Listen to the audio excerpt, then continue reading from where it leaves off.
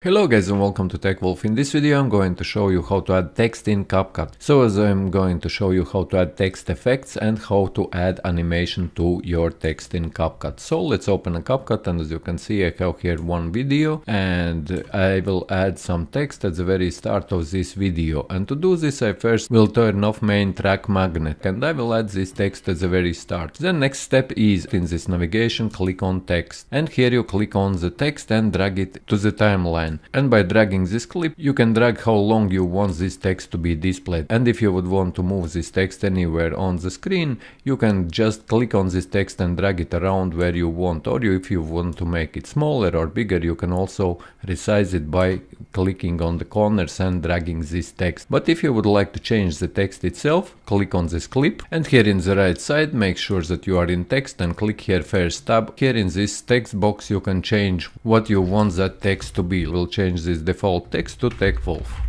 And now also while you are here in basic you can change the font, you can change the font size of this text, you can make it bold, whether you want it uppercase, if you would want to be uppercase then click on uppercase, if you want to be lowercase, click on lowercase. If you want to be capitalized, click on this third one.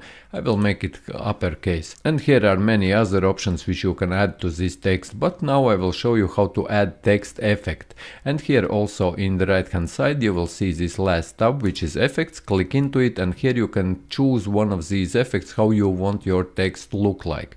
I will click here on this one, I will make it glowing white text. You can select any other of these text effects whichever you want, but I will make this white glowing text. And now, if we will be playing this video, you will see that this text doesn't do anything. It is just appearing on the screen and it is there.